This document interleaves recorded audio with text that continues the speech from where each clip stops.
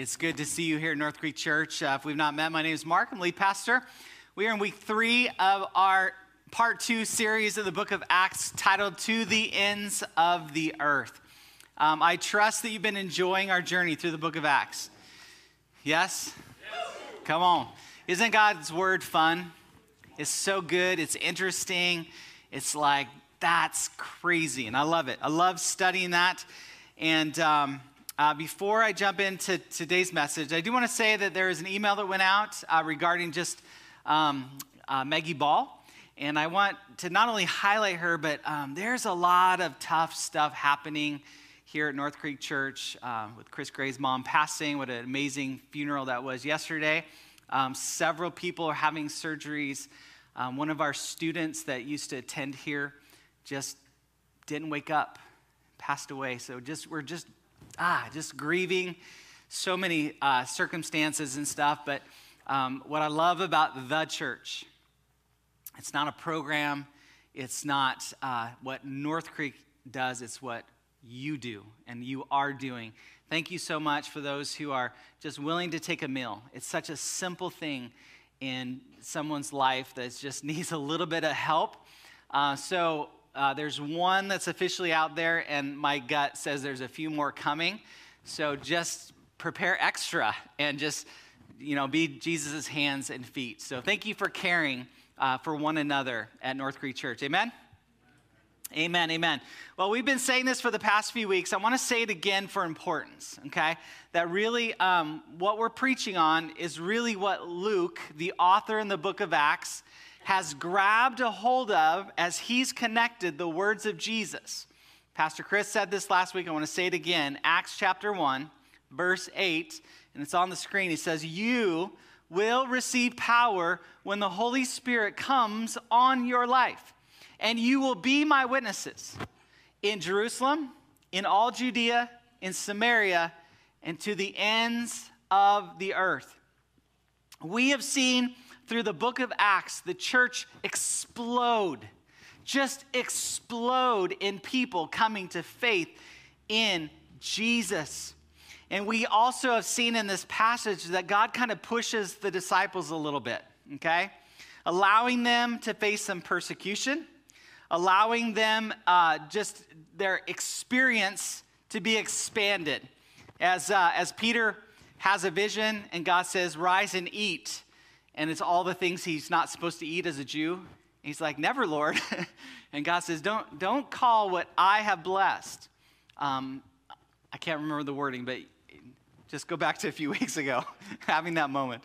Anyway, so God expands their understanding of the gospel and this idea of what it takes to get to the ends of the earth as the Holy Spirit is poured out even on the Gentiles, as he did in Acts chapter 2 on the disciples. Suddenly they have a bigger picture. And so um, I want to make this point here that the early Christians didn't just hear what Jesus said and then jump in and do everything perfectly.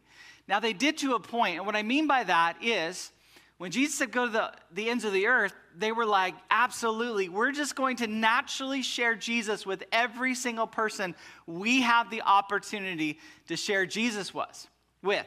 And so not only did they just do that, but God kind of kicks them, pushes them, uh, nudges them into a bigger perspective and situation because they thought they knew what Jesus meant. And he's like, nope, not just for the Jews, but for the Gentiles. Not just you're doing great in Jerusalem. Now let's boom, let's get you out here. Here's some persecution, spreads them out. And as they go to other parts of the world, they tell people about Jesus. And so we see this progression that they needed a lot of help, and it was a both and kind of thing that God uses circumstances to open their minds to get them to move. Now, what I love about the chapters we're going to study today is the clarity by which God speaks he is very specific and very clear in these chapters. These chapters that we're going to study today are what's known as the first missionary journey. The first missionary journey that we have recorded in Scripture. It's the first of three four if you count Paul's journey to Rome to testify about Jesus. But there's three specific missionary journeys that happens here in the chapters that we're about to study. And this is the first one. These chapters are why we have and support missionaries today. In fact, North Creek supports 16. I know we've promo 12 for 12. That is just what we do as a hearing church. But when you add our deaf church, um, I say 16, but one is an organization that actually covers multiple families. So it's really hard to quantify some of these statistics. So let's just go with 16 at North Creek Church. But in our network, which is the Assemblies of God in Washington, Northern Idaho, there are several hundred missionaries represented in our network. When you factor in our nation, there are thousands of Assemblies of God missionaries. When you factor in the entire world, there's multiple thousands. And that's just the Assemblies of God. Then you add the Baptists and the Presbyterian, all of these. There are, there are so many people who God has put a unique call on, who have said yes to go around this world to tell a different culture and a different people about the love of Jesus Christ. That is awesome. And it all comes from these two chapters our understanding of how the process of missions works, what we're trying to accomplish in getting the name of Jesus and who he is and what he's done to the world. We've created organization and structure of how we send missionaries out, what they are trying to accomplish. We want them to be effective, don't we? We don't want them just to go out and spin their wheels like a mouse on a on it going nowhere. We want them to actually make a difference, right? So we have language even that helps us understand the different roles that missionaries play. This is also why we pray and ask God to send forth laborers into the harvest field. And it comes from this example where God, through the Holy Spirit, has a moment where He's like, You guys are doing good. You got, I told you to go to the ends of the world. There's excitement there, you're going to need a little help. So I'm going to be very clear and very specific. And it all begins in chapter 13, verse 2. I'm going to read that and then we'll uh, get to our main scripture here in a moment. It says, While they were worshiping the Lord and fasting, the Holy Spirit said, Set apart for me Barnabas and Saul for the work to which I have called them. Now, if you're new to the Bible, Saul is also known as Paul. One guy, okay? So God changes his name as he changed Jacob's name to Israel, as he changes, changes Sarai's name to Sarah. And uh, anyway, he does this a lot. So Saul is Paul, two guys. Barnabas, I'm going to say Paul for the rest of the service, just so you know um, who we're talking about. God allows us the privilege of figuring out his commands, of saying, when God says go into the, into the whole world, we get to kind of figure out what that's like for our own lives. I like to translate that a little bit because um, going into the world looks a lot like going to work, doesn't it?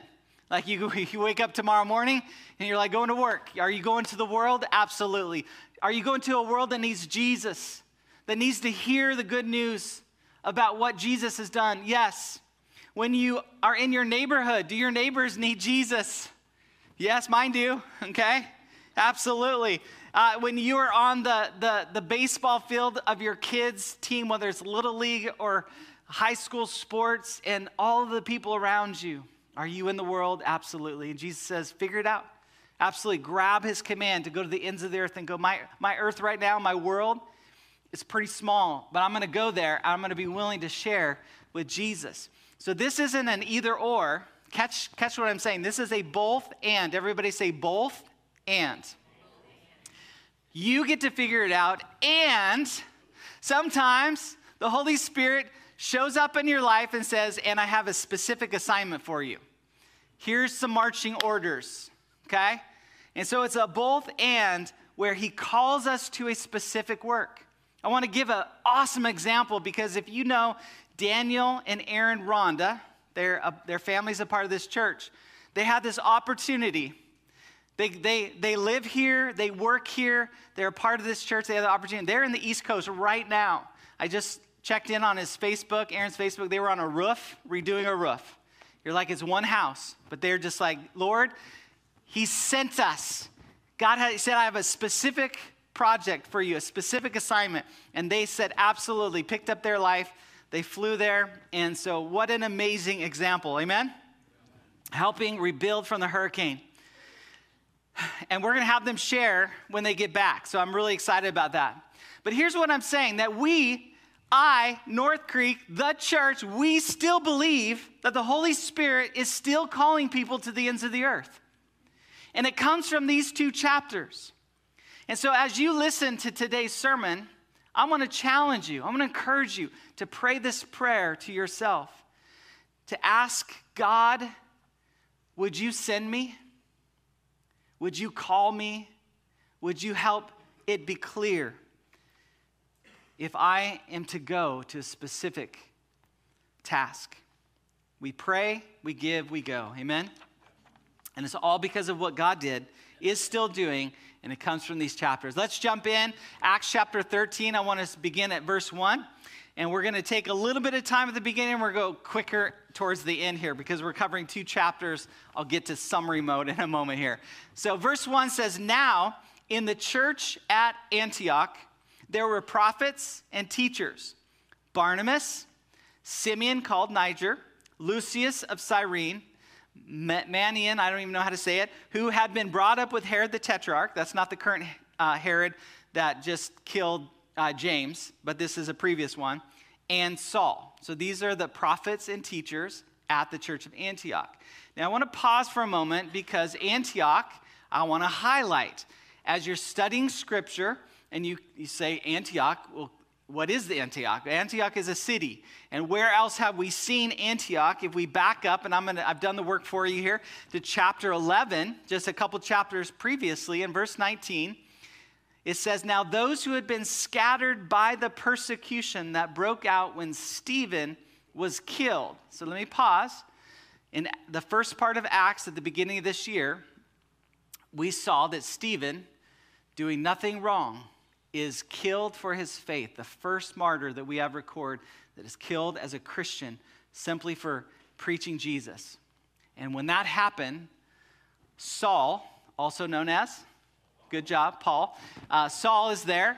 He's not a believer in Jesus. He's giving his approval to, to Stephen's death. God radically changes Saul's life in chapter 9, and now he's a 100% believer is part of the church. He's just doing his best to go to the ends of the earth as he knows, okay? So when that persecution broke out, people traveled as far as Phoenicia, Cyprus, and Antioch, spreading the word only among Jews, okay? Acts just a little bit farther in that same chapter, it says, Then Barnabas went to Tarsus to look for Saul, and when he found him, he brought him to Antioch. So now Barnabas and Saul are here at the church in the city of Antioch. For a whole year, Barnabas and Saul met with the church and taught great numbers of people. The disciples, I left this in there, it's so cool. We're called, we're first called Christians in Antioch. So if you ever wonder why we're called Christians, it means Christ's follower.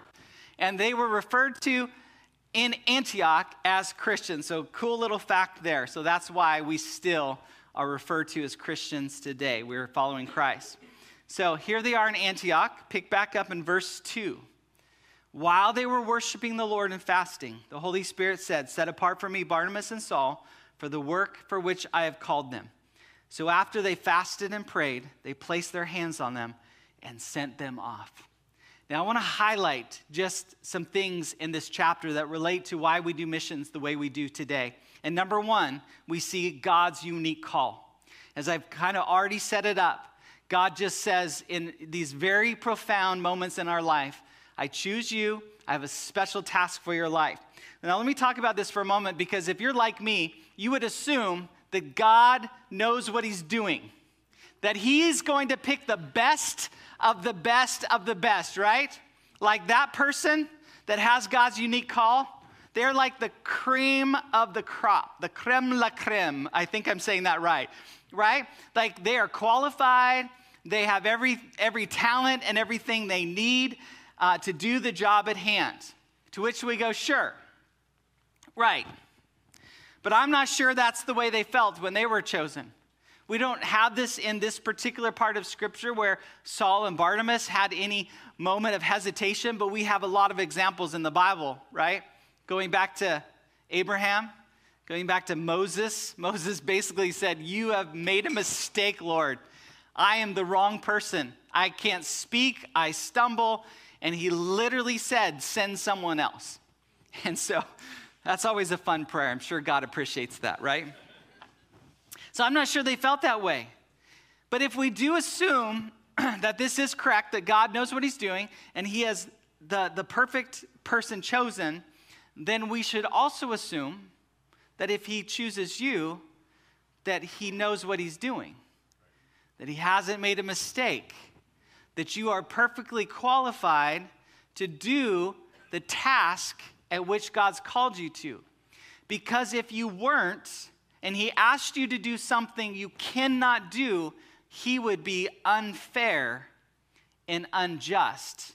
And we don't see that anywhere in Scripture, do we? So we can, here's maybe the more appropriate way to assume this that if God calls us, knowing that we're the perfect person and we don't feel qualified, what do you think's about to happen? He's about to qualify you, right? He's, he's about to give you everything you need. I love the analogy. It's, it's stayed with me for decades. I've shared this several times before, but there's a true story of a mom who wanted to inspire her young son to in piano playing. So she took him to the great uh, master pianist concert. But while they were waiting, she was talking with somebody on her left, and her son slipped up and went to the stage and started playing chopsticks. And so she's like realizing, oh my goodness, my, that's my son. She's embarrassed. And, you know, people are like, you know, get this kid off the stage. Well, the master pianist quickly understands what's happening, comes out there and comes around the boy and begins to improvise and play this beautiful rendition of chopsticks. And what I love about that is sometimes, most of the time, I feel like my skill set is the equivalent of chopsticks on the piano. And what God does is He comes around us and He fills in every gap and makes beautiful where we lack. Amen? Isn't that a good illustration? I love that. I just always see the Lord coming behind me and say, I got you. I got you. I know where, you, where your, where your uh, limits are, and I'm going to fulfill everything around you. He knows what He's doing. We don't always feel that God has chosen correctly that he's overlooked some significant parts of our resume. And I don't think that Paul and Barnabas knew everything that was about to happen, but they knew the God of which they served and they trusted him. And they said, if God called us, then he knows we have what it takes to do everything he's called us to do. Amen?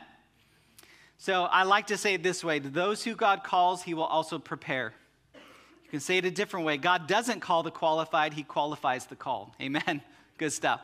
So, this their only preparation from this scripture, here's, here's the extent of their preparation. They fasted and they prayed. Some of you, that's just a good key for us. If God's called you and you feel inadequate, just start fasting and praying. And that's all you need.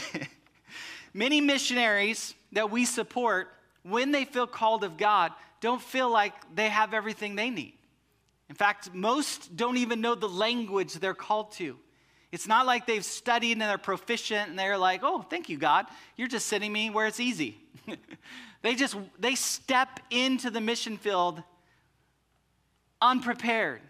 In fact, as you talk to most missionaries, they say the hardest part is learning the language. Mark Rodley, which was here not too long ago, was saying the, the word Mao five different ways, and it means different things. One is a dog, one's a doctor. So you can call your doctor a dog or call your, uh, I mean, it's just crazy. Just, it's the pronunciation.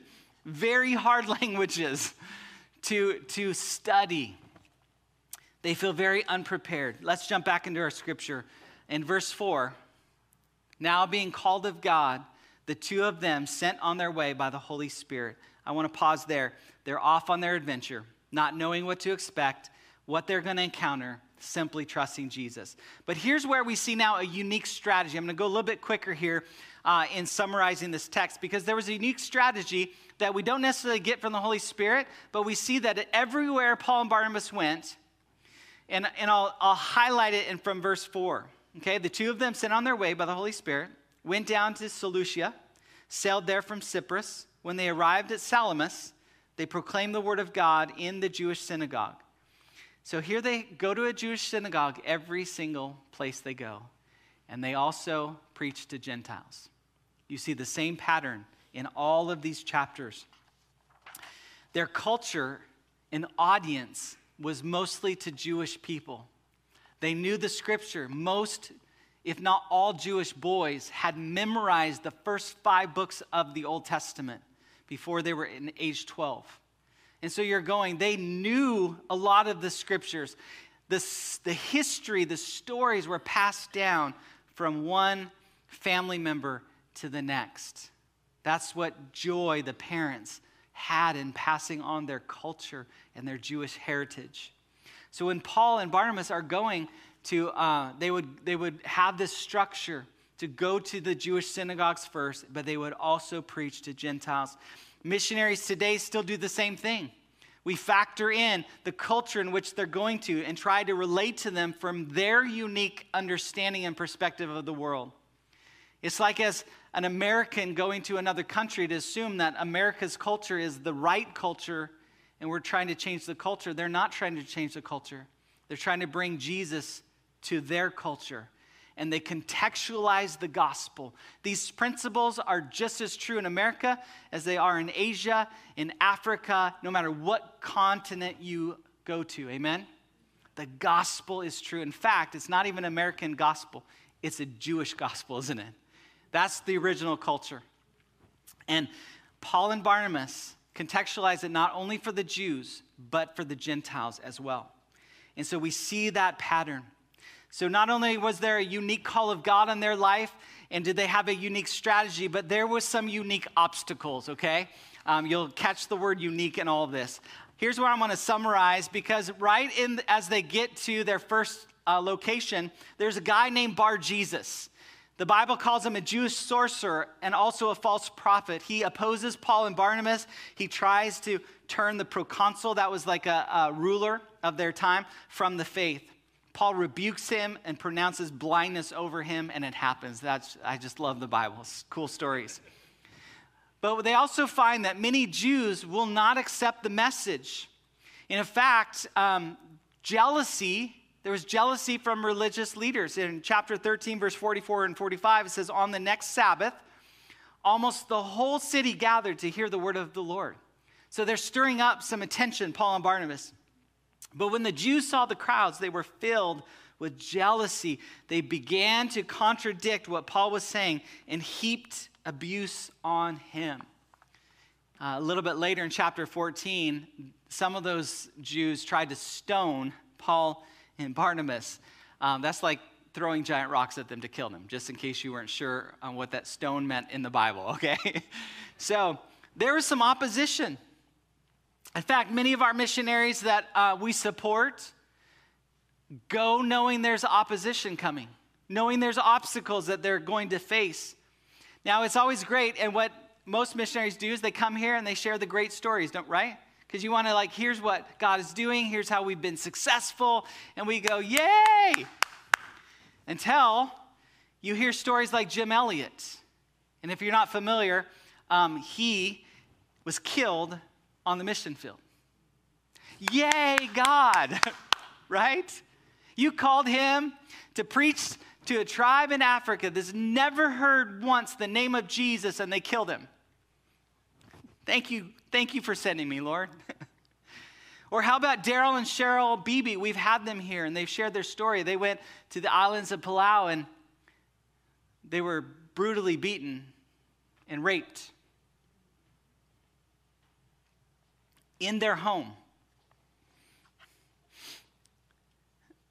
We've had a female share several years ago. Um, whose name I cannot say over the internet, but she was single on the field, also raped tragedy. Like you go, God, why? and all the things that we throw up there. Let me just say that in every one of these stories, there are redeeming things that they themselves will share that have happened since these tragedies have taken place. But many of our missionaries face difficult obstacles on the mission field. And what is encouraging, if there is an encouraging part, is that Paul and Barnabas faced the same thing. That's, that's the example we see. It's not always the joyful and amazing stories that we want to hear or need to hear, but we can see this happening in the book of Acts. In fact, one of the things Paul says to the church while he's on this missionary journey to encourage them, he said, Take courage, brothers and sisters. We will face many persecutions in this life. So let's just let that encourage you today, right? So there were unique obstacles, but with every unique obstacle, there's also unique opportunities. And that's what we have to remember. We don't have a specific number, but I love the, it says many people came to faith in Jesus through their missionary journey. Let me just highlight a few passages. Acts 13, 49 through 52 says, The word of the Lord spread through the whole region. But the Jewish leaders incited the God fearing women of high standing and leading men of the city. They stirred up persecution against Paul and Barnabas and expelled them from their region. So they shook the dust off their feet as a warning to them and went to Iconium. And the disciples were filled with joy and with the Holy Spirit. It seems like an oxymoron, doesn't it? Like these two things shouldn't go on, shouldn't happen at the same time. But they faced persecution and they were filled with joy and with the Holy Spirit. In chapter 14, it says that at Iconium, Paul and Barnabas went as usual into the Jewish synagogue. There they spoke so effectively that a great number of Jews and Greeks believed. But those who refused to believe stirred up the other Gentiles and poisoned their minds against the brothers. So Paul and Barnabas spent considerable time there speaking boldly for the Lord. And I love this part who confirmed the message of his grace by enabling them to perform signs and wonders. God says, I'm going to confirm your message of who I am by allowing you to do miracles. Of course, that's right after that, they wanted to stone him, okay? So they flee. But in the next few verses, it says, In Lystra, there sat a man who was lame. He had been that way from birth, had never walked in his life. He listened to Paul as he was speaking, Paul looked directly at him and saw that he had faith to be healed and called out, Stand up on your feet. At that, the man jumped up and began to walk. God just uses them powerfully. And because of that, and it doesn't give us a number, but a great number of people believed. And that is why our missionaries, they know there's going to be obstacles. While they're willing to go, is because they also know there's going to be opportunities to make a difference, even if it's in that one person's life. I mentioned, mentioned Jim Elliot. He dies without a single convert. But his wife and his kids, think about this. His wife and his kids pick up where he left off and continue to witness to this tribe. And over time, they see an entire tribe come to faith in Jesus. Come on, isn't that amazing? Still to this day, generations now are serving God because of him. Paul himself says it this way. This is in a different book, not in the book of Acts, but he says, Woe is me if I do not preach the gospel. In other words, what is Paul saying? He's like, I am compelled to preach. He's, he says, I have to do this because God has called me to do it. It's what he has assigned to my life. And if you talk to missionaries, and you're like, why would you go through that? Why would you do that? And they said, I have to. I have to. They're passionate. They cannot do anything else and be satisfied with their life. It's how I feel about my call to be a pastor. Most missionaries have to go because they've been compelled by the Holy Spirit. Amen. And last, they gained a unique testimony. I love this. Just catch this. Acts 14, 26 through 28 says, From Attalia, they sailed back, say it with me, to, the scripture's not on the screen, to Antioch. What did they do? Full circle. Where they had been committed to the grace of God for the work they had now completed. On arriving there, they gathered the church together and reported all that God had done through them and how he had opened the door of faith to the Gentiles. And they stayed a long time with the disciples. This is why we have our missionaries come back. Because as we support them, as we pray for them, we also want to hear from them, don't we? We want to hear what God is doing. We want to hear not only the opportunities, but also the obstacles and how God has showed up. And I love that. God gives them a testimony, as He does for each one of us. As Daniel and Aaron will come back, they're going to come back with a testimony of how they got to impact, even if it's one life or one family or a hundred. I don't know. I'm excited to hear how God uses them. But God gives us a testimony. And you know what happens?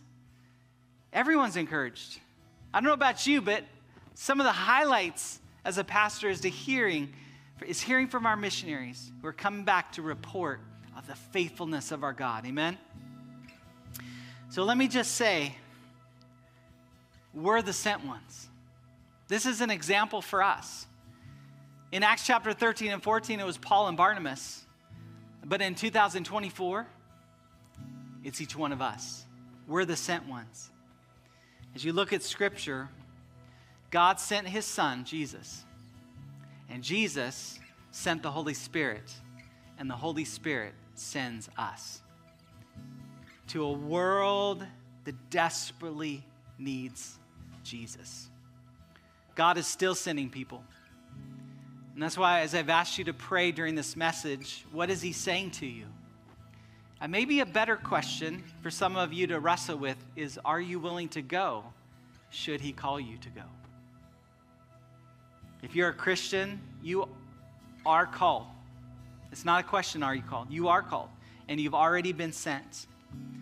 Called to what exactly? Sent to where? We need to lean into the Holy Spirit and ask.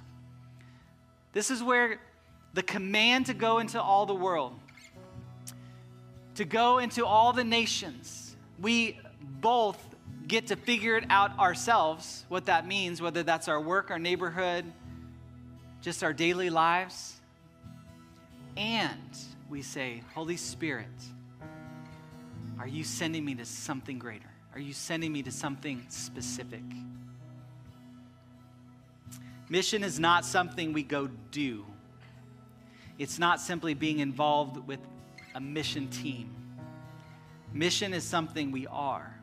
We are called, we have been set apart, and we are already sent on mission to this world. So you don't have to pray about that. You just pray about where and when and how. Jesus said, The Father has sent me, so I am now sending you. The impulse of the gospel is to move outward. It's never inward, it's never us for no more. It's always an outward impulse. In every page of every scripture, in every church, if you think I care about growth because of my pride, I don't. I care about growth because that is the point of the gospel. That's the only point of why we're still on this earth is to reach more people for Jesus. That's why we gather. That's why we encourage each other. That's why he has sent us out. The mission of God can be summarized with go and tell. Go and tell. Go and tell of the good news of Jesus Christ. It's that simple. I want to conclude today just to highlight there's really three ways. Three ways as a Christian, as a person, that we support the mission of God. This is not pick one, this is all of the above, okay? So, this is just the simplest way I can summarize it. Number one, we pray. What are we praying for? I've already said, Jesus said, pray that the Lord of the harvest would send forth laborers.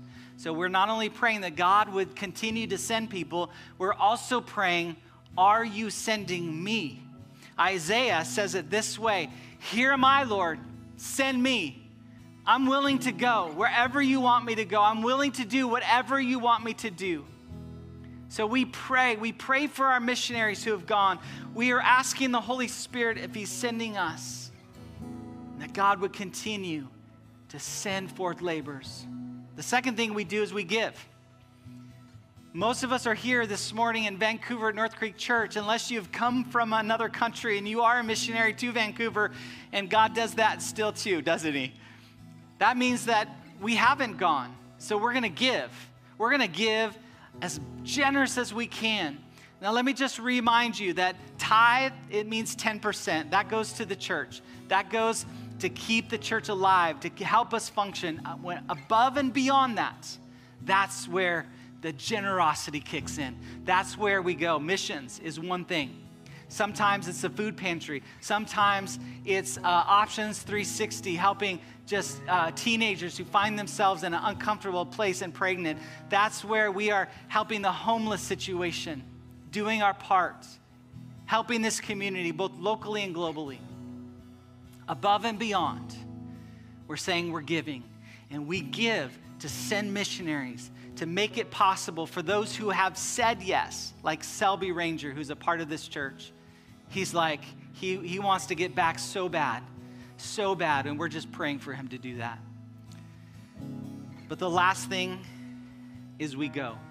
And that's where the real challenge is. Perhaps God has been speaking or stirring up. Perhaps you even felt that call as a little child, but life has taken you just to where you are, and you've kind of let go of that. But it's still in there, it's still nagging you. Where do you think God calls people from? He calls them from just the local congregation as they're fasting and they're praying, and the Holy Spirit just says, I pick you. I'm choosing you. I have a, I have a task for you. I have, a, I have a ministry for your life. And if you feel unqualified and inadequate, you're in the right spot because God knows how to get you where you need to go. Would you stand with me? And let's just pray. Let's pray. I dare you to pray. Holy Spirit, we're asking, are you sending us? We're already praying, we're going to continue to pray. We're already giving, we're going to continue to give.